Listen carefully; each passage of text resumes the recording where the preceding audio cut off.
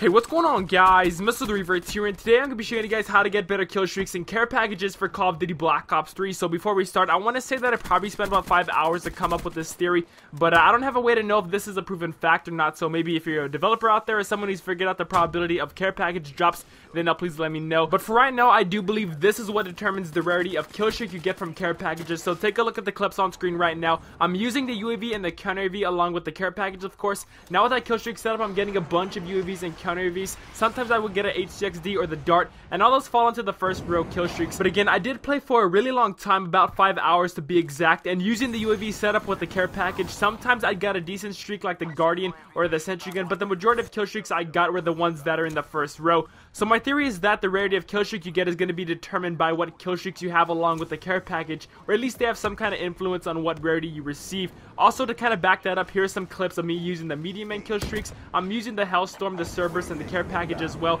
and I get a bunch of kill streaks that are in the second row. And again, sometimes I'd get a UAV or a kill streak that's in the first row, but most of the drops I receive are the medium end kill streaks like the Hellstorm or the Sentry Gun. And finally, the last clips I have are the high end kill streaks, so anything from the third row and up are in that classification. Now the setup I had on was the R.A.P.S., the talon, and the care package, and I kept on getting a bunch of kill streaks within the third row category, which is absolutely crazy, guys. But I'd also get some streaks that are in the second row, so uh, like the Hellstorm missile or the Guardian, and I hardly got any streaks within the first row category. So to wrap everything up, I believe the rarity of care package you get is determined by what other kill streaks you have equipped along with the care package. And if you're one of those players that struggles with getting high-end kill streaks, then I recommend using the care package. But again, anything in the first row category could possibly add some influence on what rarity you receive from the drop. So uh, use anything from the second row and up. But again, sometimes you're going to get streaks in the first row, but the majority of kill streaks you're going to get are going to be high-end streaks if you have high kill streaks equipped. So hope you guys did enjoy today's video. If you did, drop a like and subscribe for the greatest Call of Duty Black Ops 3 videos. Thank you for watching. My name is Verts.